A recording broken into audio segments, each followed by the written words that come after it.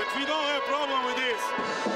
Last one, we was in zero, was not bad, but mainly we don't want this.